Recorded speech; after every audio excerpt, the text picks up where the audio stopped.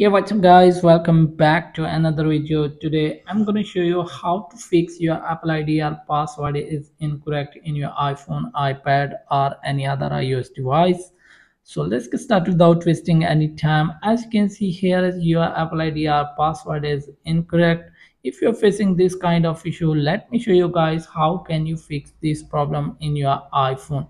So first of all we try to update the app again. So let me show you guys what is the problem actually. So as you can see here is the error. Your apple id or password is incorrect.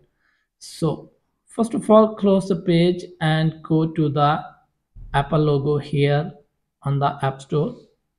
So as you can see here is my apple id see the apple id carefully here I have signed in this Apple ID in my App Store right now. So when I try to update the app, it's asking for the another Apple ID password. So wait for a few seconds.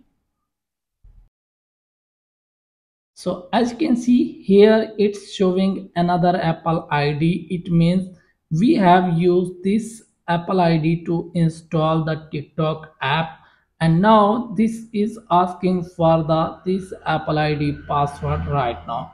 So if you have the apple id password that is showing here simply put the this apple id password in the password section and your app will be updated successfully.